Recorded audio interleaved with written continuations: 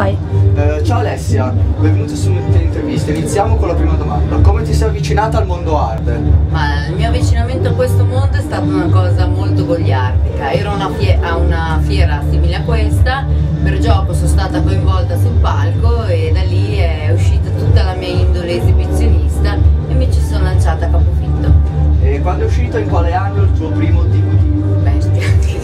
allora, torniamo indietro. Se adesso siamo nel 2011, più o meno considera 2008.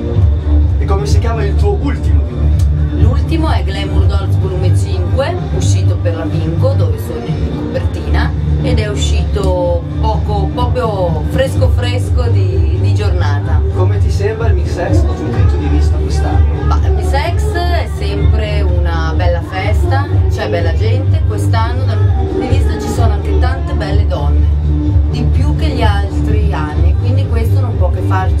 contente che anche le donne si avvicinino a questo mondo, insomma, e capiscano che alla fine non è nulla né di inquietante né di sporco né di... è solo una grande festa.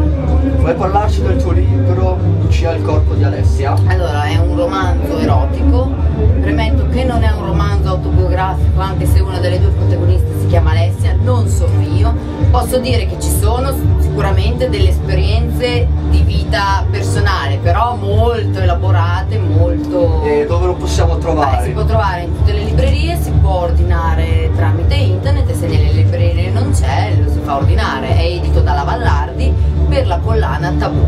Lucia e il corpo d'Alessia. Ok, ricordiamo anche il tuo sito internet. Io per il momento non ho siti internet perché per quanto riguarda un sito legato comunque al porno c'è un po' complicata la, la legge, quindi mi potete trovare su Facebook col profilo Alessia Donati o Alessia MySpace Alessia Ok, Donati. hai progetti futuri? Ma guarda, io sono una che vive giorno per giorno e si arricchisce di quello che ogni giorno le dà. Valuto tutto quello che mi viene proposto, ti dirò, potrei buttarti là la televisione.